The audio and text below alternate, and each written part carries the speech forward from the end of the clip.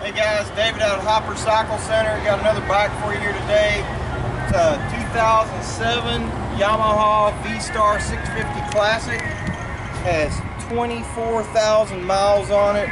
Clean little bike. Be a great starter bike for somebody trying to get your wife on the road. Just be a good bike for her to go go riding with you. Got saddlebags, got factory exhaust, lots of chrome. This thing runs great, fires right up.